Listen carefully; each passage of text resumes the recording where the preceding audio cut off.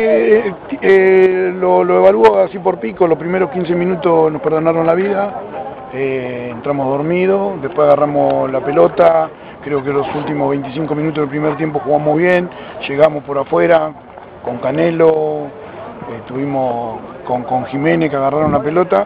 Y el segundo tiempo los, los últimos 5 minutos también lo podíamos haber perdido.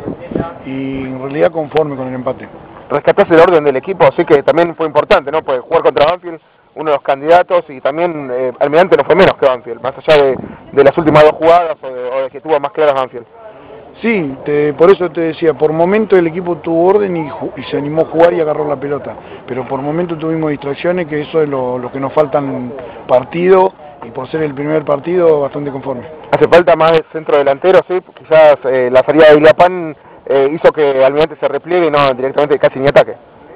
Sí, puede ser, el, Japón hizo un buen partido, este, pero creo que para el próximo partido va a estar Nadaya y Pérez también, que son alternativas.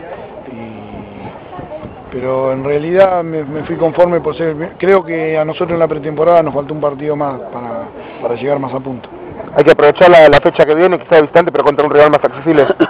Y Nacional B son todos complicados. Fíjate que que Villa San Carlos a Unión creo que no merecía perder, por lo menos. Partido durísimo le hizo. Todos son complicados, pero bueno, le vamos a dar pelea a todos. La última, ¿confianza en este equipo, Héctor? Sí, estoy muy confiado en el equipo y estoy muy confiado en el grupo. Creo que armamos un grupo bárbaro y eso lleva a que se vea después en la entrega en la cancha. Muchísimas gracias. No, gracias a ustedes.